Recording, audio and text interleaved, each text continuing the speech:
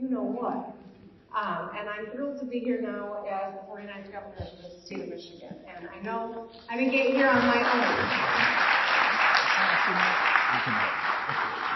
I didn't get here on my own, and a lot of people in this room were a part of it. And whether you're an old friend or a new friend, this is an important conversation that we're having. And uh, the lieutenant governor and I have been talking about how do we make sure we stay connected to the people that um, you know, that are leading, the people that are living in, the people that are part of communities across the state.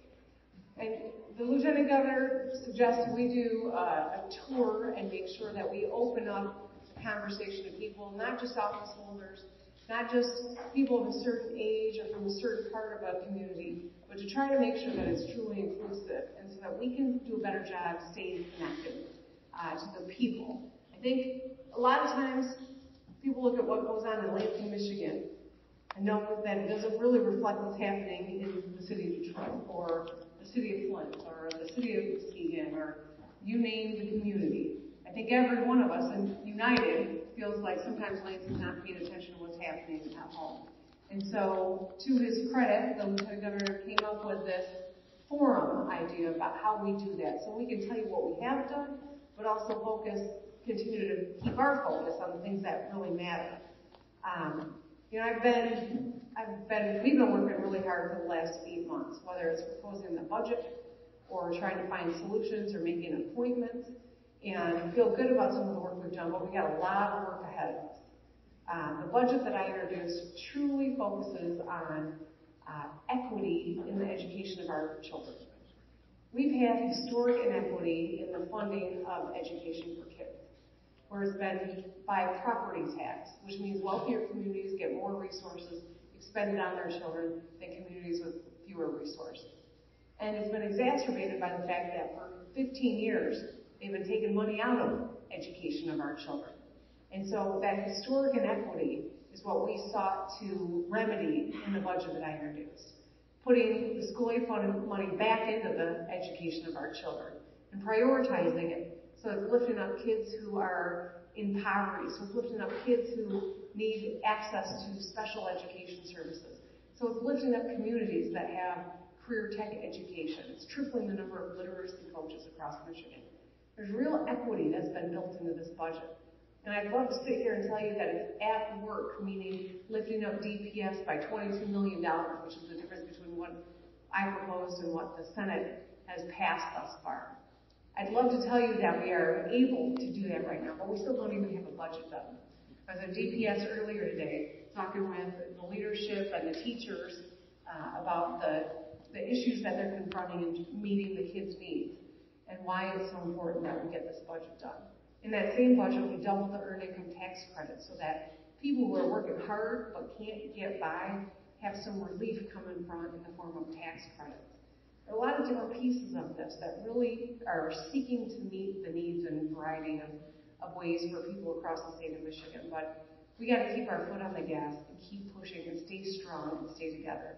And that's, um, you know, the strength of this group around this table and around tables and communities that we're going to visit. This is the inaugural meeting that we're holding, many of these across the state. It's not a one-off something that is at the start of what we anticipate to be a regular line of communication and focus. And I just want to personally thank all of you for making time to be here. This is the Lieutenant Governor's uh, brainchild, and I'm going to hand the microphone over to him and be a good supportive partner as he leads the conversation and as we build out a continued platform that's focused on the things that matter to everyone in this room. So thank you all so much. All right, good afternoon, everyone. I'm going to be too loud and yell at y'all. I apologize. Good afternoon. Good afternoon. I'm really thankful that all of you have chosen to be here to participate in this conversation about how this city can thrive. And as the governor indicated, this is the first conversation of many we'll be having around the state of Michigan for how we can improve the quality of life of cities. Now we started here in Detroit because this is obviously the largest city in the state. And so if we're going to have an agenda about quality of life in cities, it needs to start here. Now I'm going to take a risk as a facilitator.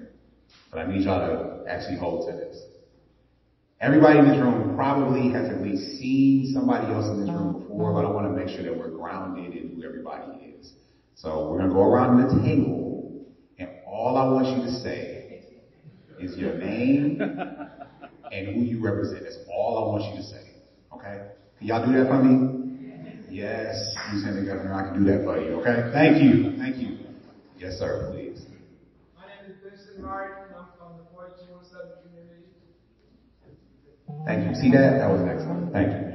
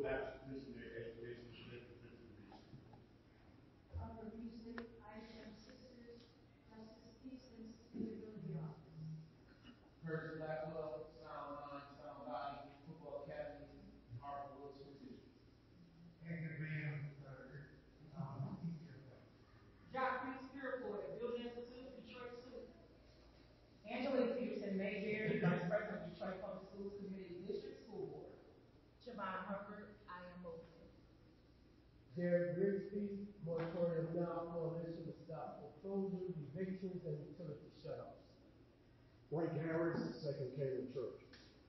Sharice Butler, Detroit Public Schools Community District, Government Affairs. Rufus Bartel, Independent Business Association on the Thank y'all for doing that in that way. I appreciate it. Just want everybody to be grounded because the, the purpose of having this particular table is that all of you are doing the work in the community. And I think too often the people who are actually on the ground doing the work are not the ones who often get audience um, with elected leaders. And so we wanted to kind of flip that on its head for this meeting. So I want to talk about, just give you a little bit of context around thriving cities and what we're talking about when we mean how we're going to improve the quality of life in cities across the state and really have an agenda that's collectively set to do that. So each of you, before coming to this meeting, you did a survey and I appreciate that. And that survey listed out several areas of what I call buckets of how we can think about how to improve the quality of life in cities. And so this slide just shows that for everyone who responded, 64% of you chose generational economic opportunity as either the first or second most important issue when it comes to improving quality of life in cities. I want to be really clear about what that means. That doesn't mean that the other stuff is not important. But what it means is when ranking these particular five areas, this was the one that you all, uh, there was the most consensus around, uh, this is what we needed to do. And let me, uh, sorry, take a moment. So in order to make this process accessible, because everybody can't be in this room today, we are live streaming this meeting. um, on Facebook right now that'll be available for you to look at and to share um, online as well. Because we want to make this again a collective open process. And we're going to be doing the same for the meetings that we're doing all across the state.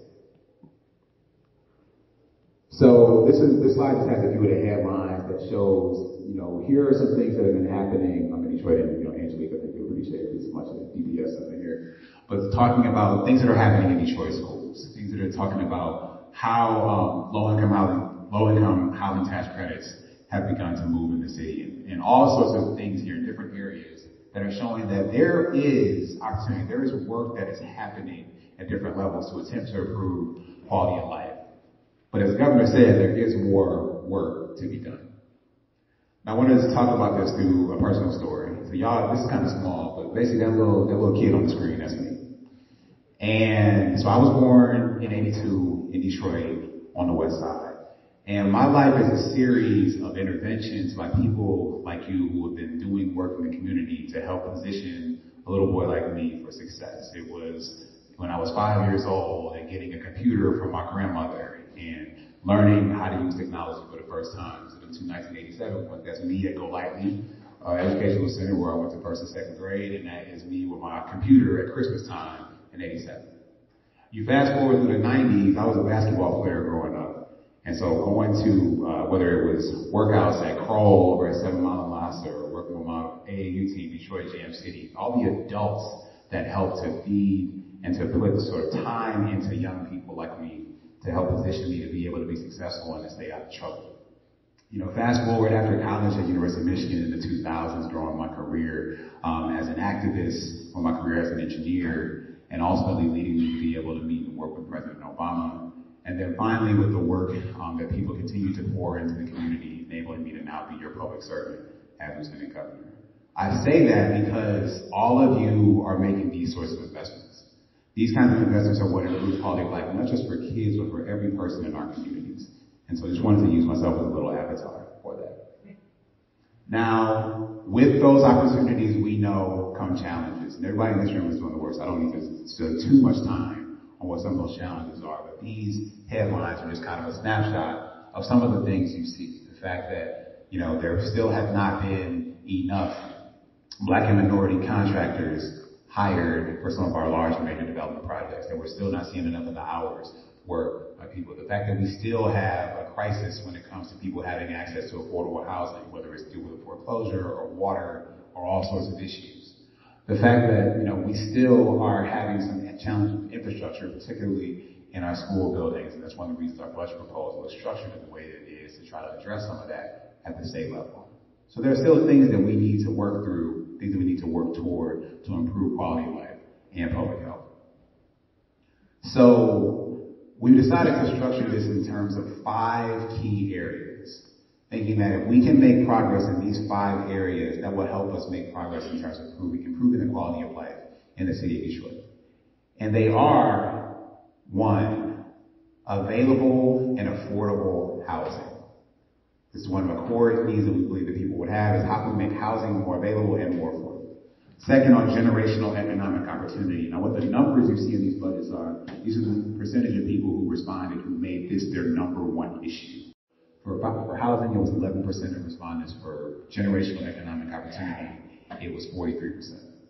The third one is on environmental quality and justice, understanding that this contributes significantly to public health and to how people are experiencing this community, on ensuring that we have an environment that supports life. The fourth is on kids in cities. Now that's framed this way on purpose because, you know, we believe that improving quality of life for kids is about education, but it's also about more than that. So we want to have a more comprehensive approach when we're talking about kids in cities. And the last is on mobility, transit, and transportation. I gotta say, I was a little surprised that only 2% of people thought that was uh, number one as a transit rider before I became lieutenant governor. I'm, I'm really surprised by that, but nevertheless, we believe that being able for it being more affordable, more accessible, easier for people and for services to move freely about the city in ways that don't depend on car ownership, we do think is um, a possibility here for how to improve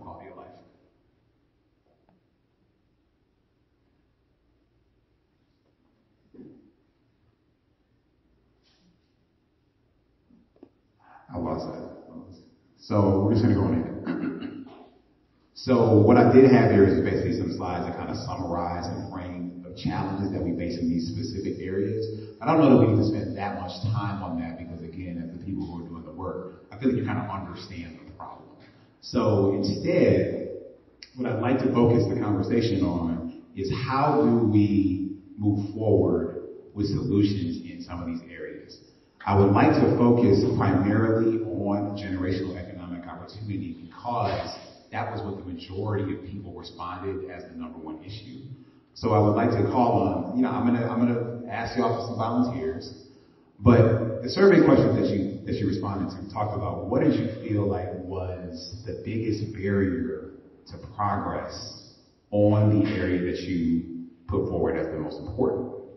So I would appreciate someone volunteering to share with this group how they responded to that question. So for someone who said that generational economic opportunity is the most important issue that we need to improve to improve quality of life in Detroit, um, what do you think has been the biggest challenge or the biggest barrier to making that improvement possible? Can you speak up? Access to capital. Access to capital. So generational economic opportunity, if we find ways to make capital more accessible and more, and to flow better in our community.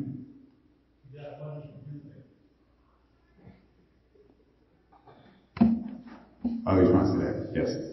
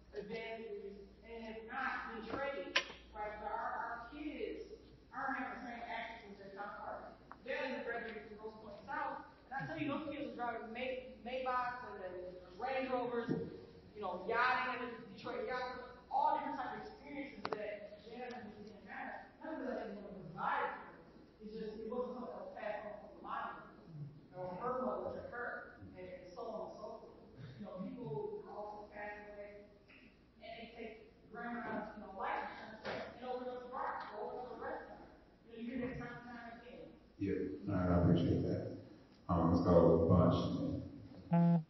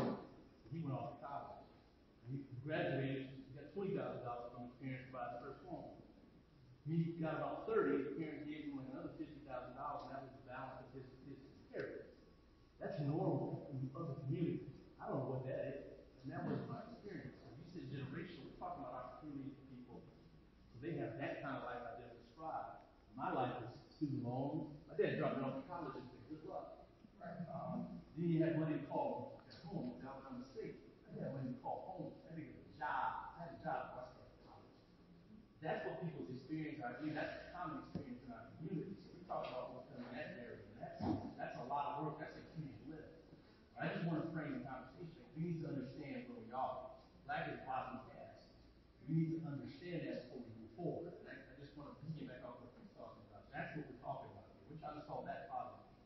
Jobs, access to wealth, all piggyback off of, off of that. You've gotta have that generational, what we call vitro transfers in your life, you get money throughout your life. So what you most people don't have. you said, blacks buying into blacks. That's what you're trying to say. I'm simply saying that, that That's the issue, blacks buying into blacks. you have to expound that. I'm not sure where you are with that. There's something, the problem is in our hands. We got resources at the table. We can come into the city of Detroit and transform an economic oasis if we put our heads together. It's what I mean by blacks not buying the black people. We have forgotten, some of us have forgotten. Let's be real about it. Some of us have made a wonderful living in our lives, and they went on their own trajectory. But a lot of, we have left a lot of people behind. Uh, yes, sir.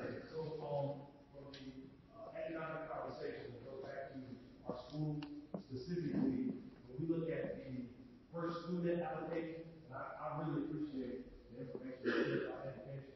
When we look at the Midwest, specifically Ohio and Pennsylvania, their allocation is three, four thousand dollars more per student allocation, which ultimately reflects the budget. When you talking, you know, when you talk public schools, ultimately it's about that per student allocation. And so that plan to raise the allocation to be similar to our competitive state, our neighbor states, I think will hold well. I appreciate that there's funding, there's investment, but the per student allocation really brings about how teachers are paid and what then creates the budget for, you know, the various school systems that are in. I appreciate that. To speak to that directly, quickly, that is a core foundational element of the budget that we have put forward. We appreciate anybody's advocacy to help us get that through before the end of the month. Yes, sir.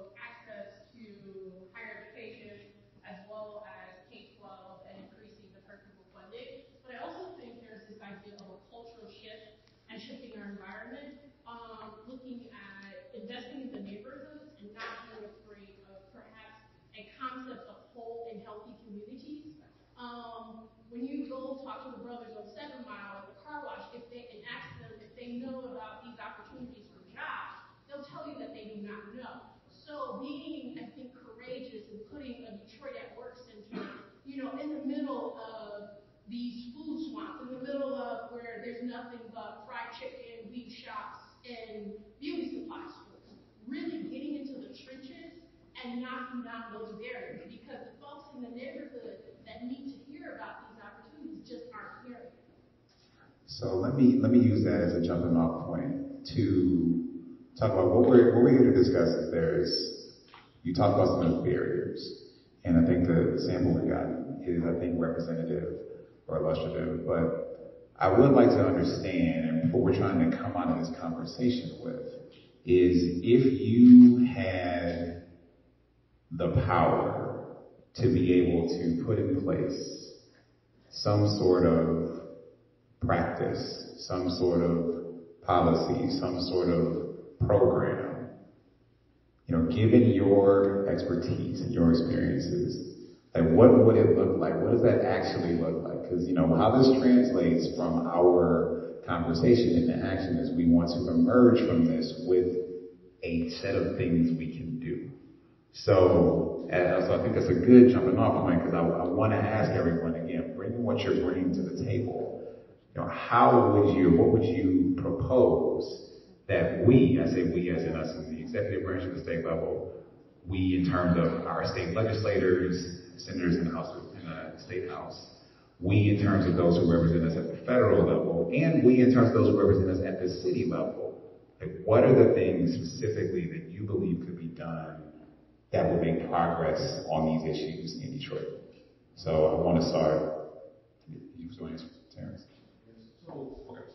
I just to say something real quick that we're, trying to do, give kids access to we to to four-year institutions, and I'm of that. However, every kid doesn't want to go to college.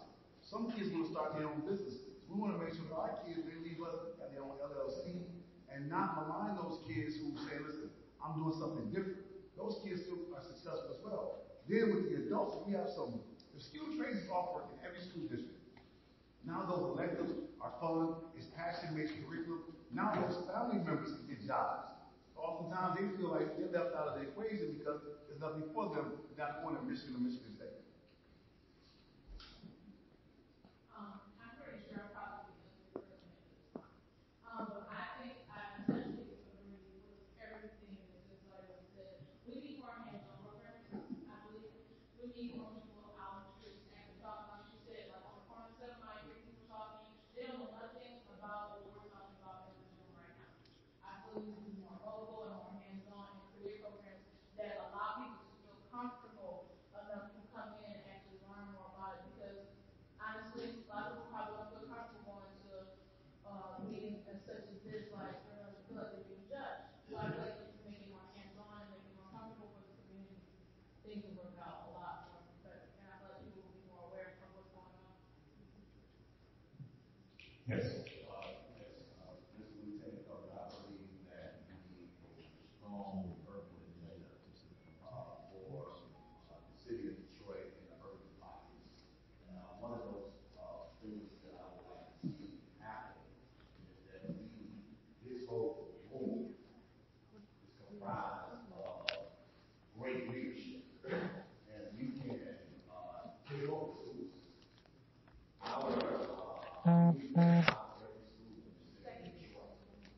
We need to put apparatus in place so that we can deal with insurance, that we can deal with, deal with violence, with refugees, and specifically, uh, deal with, uh, uh, parents in poverty, empower them with the tools that they need so that they can come up out of poverty, uh, whether we deal with skilled trades or other educational opportunities, but wrapping our arms around. Uh, I have a specific plan as it relates to, uh, seeing every school in this city get adopted. You know, and it's not to be, uh, go and, uh, uh, violate, you know, the, uh, you know, what the school system is doing, but giving them a hand. Um, churches, uh, uh, we got thousands of them in the city. Uh, we need, and, and faith, the faith-based community together, the philanthropic, the business community, need to come together and say that we're gonna come this school, this school, this school. We're gonna make sure that they have mentors, we make, we're gonna make sure it's a church student that's, uh, out out there that we're gonna be able to go and make sure we can, wanna find out why that school was destroyed, but we're gonna get that student back in, uh, uh, school, and we're gonna help empower that, uh, parent and guardian. All right, thank you. Right, yes, sir. Well, uh, specifically, if we're just talking about, uh, generational economic, I would call it, economic curse. Uh, under this system, there's two fundamental things that we can do if we're talking about bringing up the poor people. The masses, to eliminate that, that curse. And one would be to create a law that would, uh, make a job a right people shouldn't have to beg for employment, uh, to take care of themselves. And then it should be left up to an individual to say, pick and choose who they hire. Also, we need to raise minimum wage to fifteen bucks or at least eighteen bucks. Uh, those are two fundamental things that we can do to change the economics of the city. Uh, there's a lot more, of course, but, uh, I think if you're just talking about specific economics, uh, people people need jobs. Bruce? Second, I'll say that all the points that Ryan made, that's a good point. Um, certainly, we know in one time, uh, Ed Johnson, uh, that we probably talked about this, this topic for days, months, and years. Uh, however, uh, we started talking about generational economic opportunity, birthday coming as the birthday of the household. Our society started right in the household. Too many of our households are bombed out. We gotta have a plan to get an unearthed these households. Second thing, as far as education, that you give any of us, is financial education, as you pointed earlier. The Financial education has to include how you effectively as a leverage credit. We have to teach that not only in schools and universities, we have to teach that wholesale. Why? We have to have a program. Because this gentleman spoke about earlier, it was normal to get these inheritance each step of the life. Because that became a corporate paradigm in that particular community. Well, the cultural paradigm I come in is the exact opposite. So suddenly we are absent of information. And this field, say a lot of people here for lack of knowledge. But what is lack of knowledge? After information.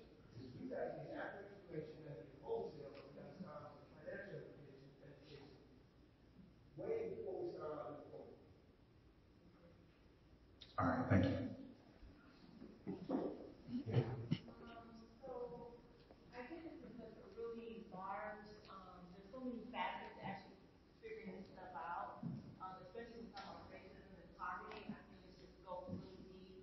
When I hear billions of dollars going into infrastructure, right, roads, housing, whatever, you know, how do we, um, be- get, get creative in terms of developing people, particularly I'm talking about like returning citizens, um, Um, back into society to become whole, right?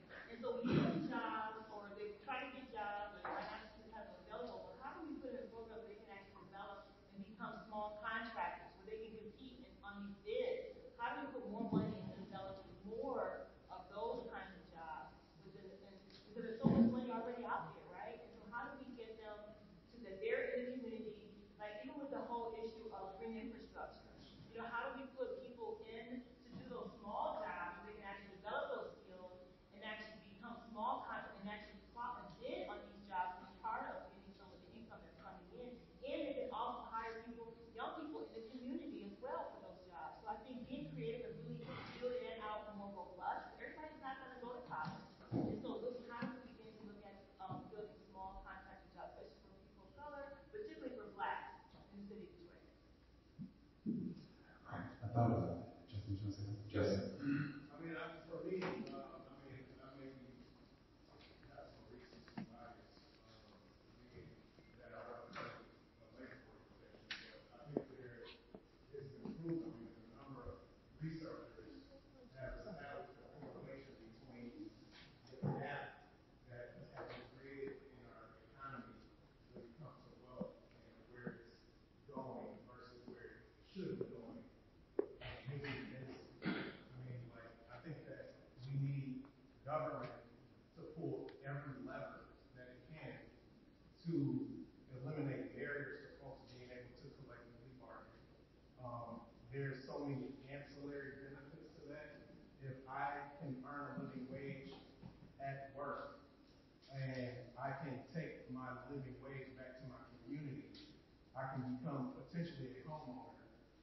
then would allow for me to be a taxpayer, which would then put more money in the coffers for our legislative body to be able to return and appropriate some of those funds towards services for the community, programs in the community.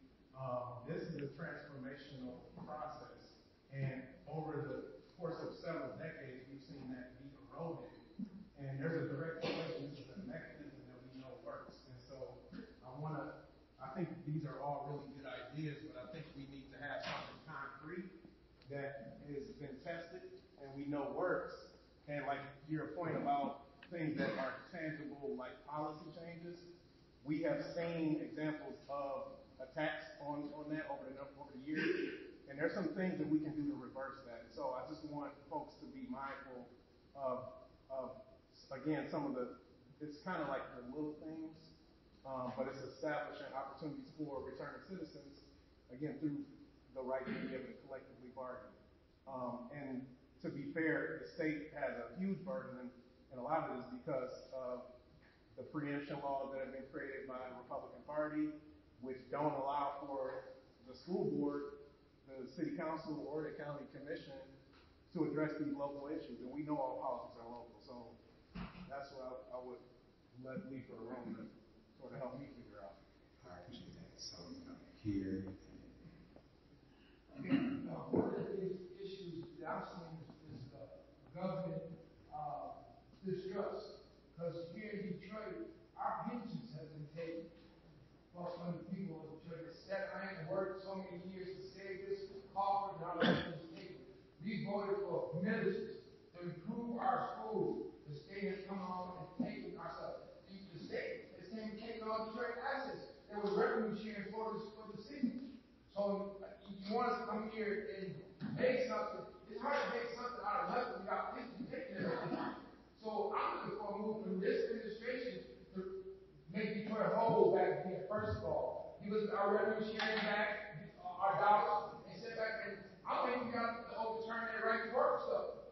It's time to see some action from the promises that were made for this, that election. You know, so I mean, I mean, this, this, this serious about this conversation. If the people don't have the confidence to come out and vote, they're not gonna vote. I mean, we voted against the emergency manager to be overturned. It was forced back on, including our appropriations, which we can't overturn it again. Those kind of actions creates this mistrust. And until we decide to make Detroit whole, we just talking to thanks to, to, to, to a board. Yeah, I appreciate that. To respond to that directly, so you're talking about things like increasing and restoring revenue sharing. That's something that is again one of the foundational elements of the budget that we put forward, and frankly, maybe having a pretty ugly fight about during the month of September before that needs to be passed, and making sure that we are protecting people's retirement. That retirement that not only was taken from you by Republicans, but then was taxed on top of that by Republicans. The core tenet of our proposal is to repeal that pension tax. So these are things that we have talked about and that we are advocating for. So I appreciate that. That's something that we are trying to bring to the table. Yes, ma'am. I would like to say that this gentleman right here, I don't know your name. Mr. Woods has a point, and Michelle has a point, and Vince has a point. The trickle-down effect that we have in this atmosphere of Detroit, it doesn't work. What you need to do, you need to build the wealth, from the ground up. And if we got, we have hundred and four public schools in the city of Detroit that are lacking decent education for the students. And we have all these corporate giveaways. If we stop the siphoning of our tax dollars away from the educational system and put it into the schools that need it, it would change the dynamics. And what we should say is this about adopting the school. Adopting the school. We had Ellisville and Gilbert Town. They had just taken over Detroit. Now we have FCA all coming through the back door, impacting communities that for generations.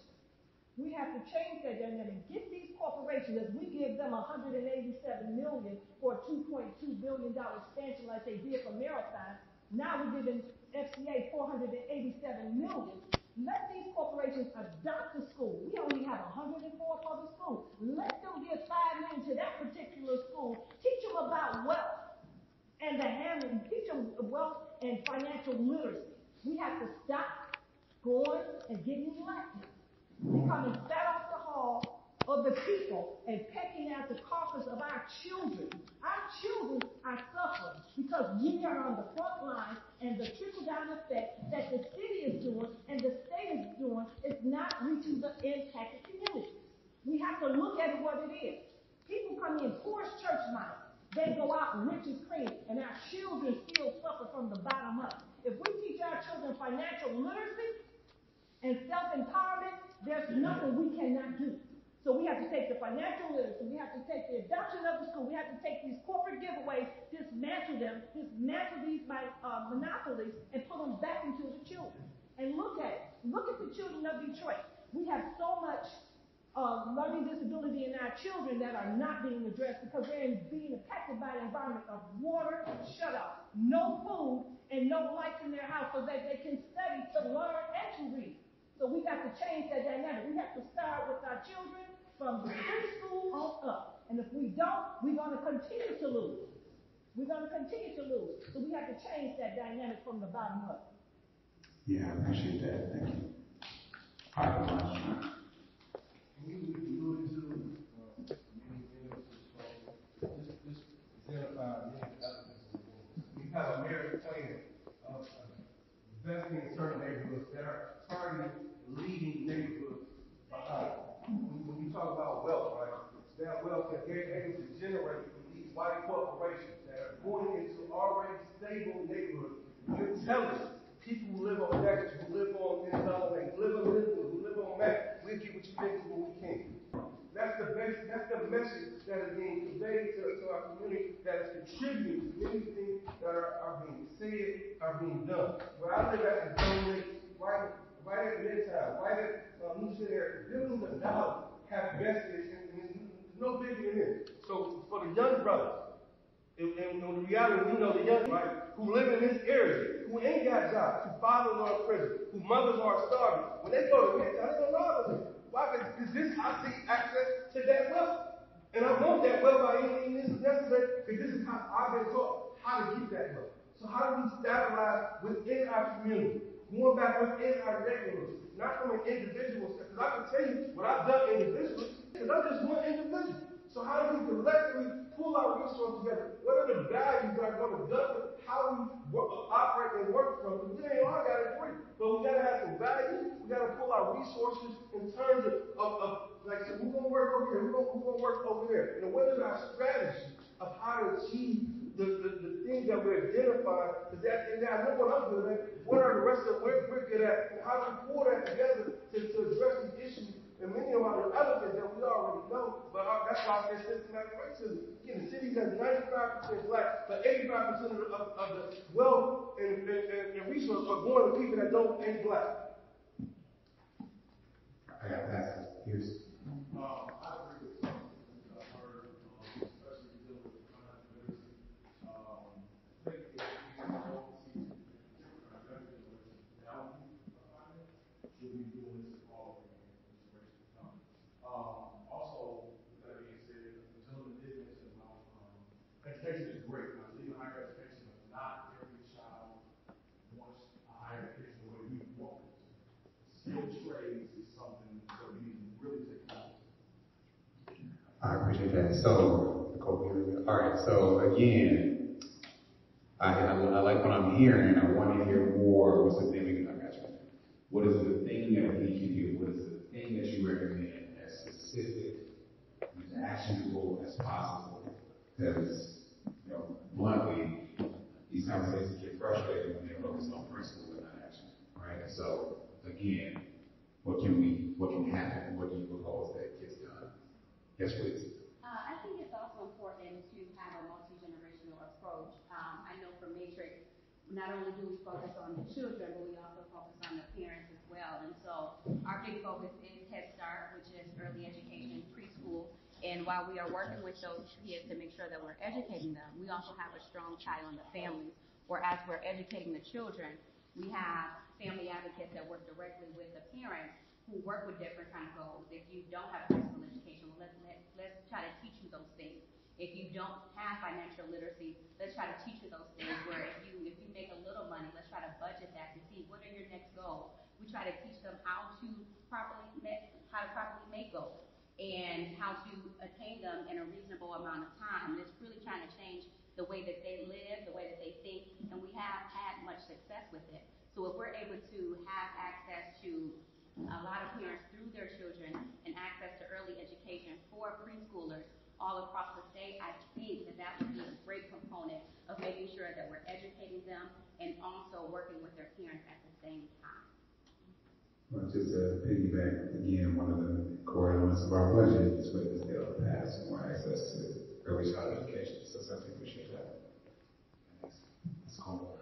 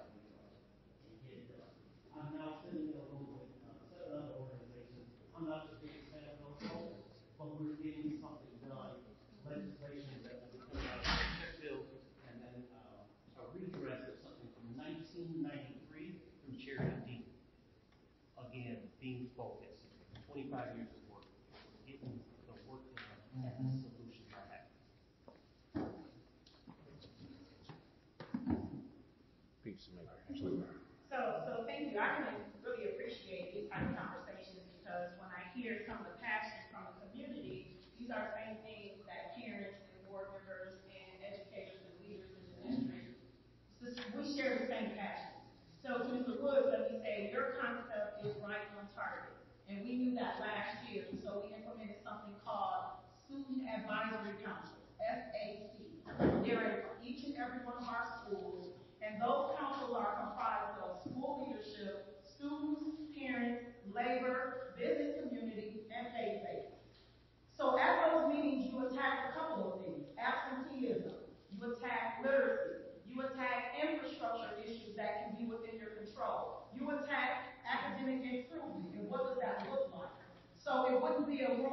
people of this size, but it's more intimate and it's specific for the school of your choice.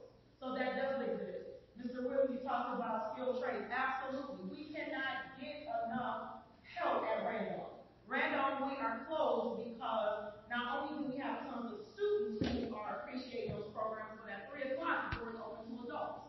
And it's free. And it is something that had to be partnered with the city of Detroit and other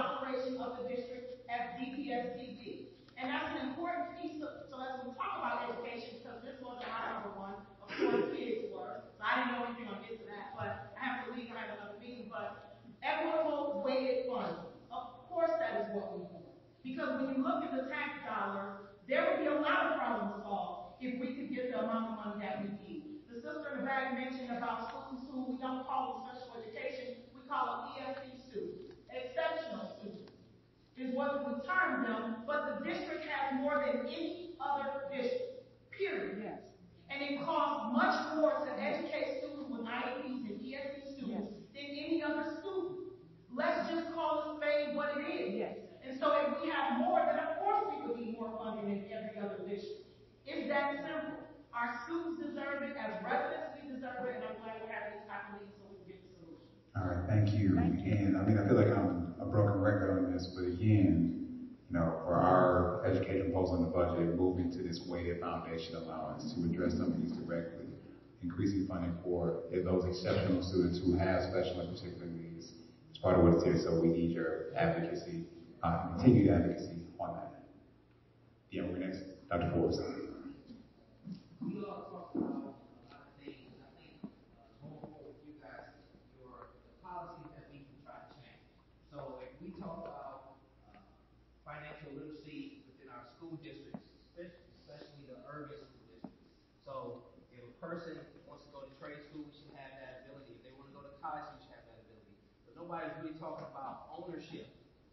We need to have some guys that, or women and young men are talking about, I wanna own something. What education will they get?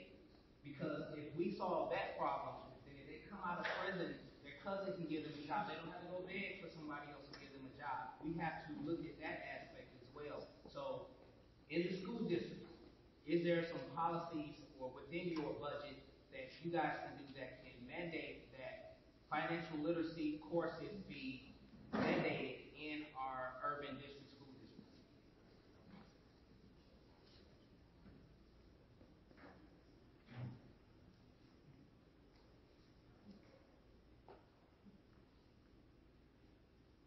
Yeah. Uh, uh, piggyback, uh, Reverend Leon Moorhead, piggyback, piggybacking off of what he, um, just stated. Um, unfortunately, a lot of our schools are forced to, um, teach towards the text versus being able to reach the skilled trades that we need. So there does need to be an infusion of some things to where, uh, unfortunately, our children need to learn metalworking again and things of that nature. And they don't get that chance because they gotta take SAT prep and everything else. Um, with regards to multi-generational wealth, we need the ability to be able to, um, close some of the loopholes in the back doors, uh, so that way, um, Little Caesar Arena can't get away with just paying the fine. We have to be able to say, uh, the little guys won't get a chance. We right now are dealing with the, the marijuana thing that's gonna happen, whether we like it or not. It's gonna happen. But now we got big business that is now everybody's best friend, as opposed to three or four of us at this table. And I'm not saying there's anybody at this table. Please don't take offense. But three or four of us at this table that are willing to be able to be pillars in the community with that business and open up the mom and pop shop versus it being everywhere a Costco. I'm gonna take, I'm gonna take one more. I'm gonna take one more. Yes. Dr. Ray, I, I've heard a lot of people talk about financial literacy, but what about literacy? Because they have to be able to read the contracts and the RFPs, so literacy for adults, not just financial literacy, but literacy. All right, I appreciate that. So, one, my understanding is that we need close to time. So, I appreciate, um, folks participating in this conversation and how you were able to focus and bring some of the other elements of what you work on to connect it to generational economic opportunity. I also appreciate sort of what we heard. There were definitely some, themes, some elements that I think bubbled up um, repeatedly and consistently that we need to take into account, whether it's sort of what types of activities and choices we are incentivizing, whether it is how we can prepare people, whether they're young people or adults, for success and to be able to actually fully participate in the economy in a way that they, to your point, is have enough literacy to actually do it.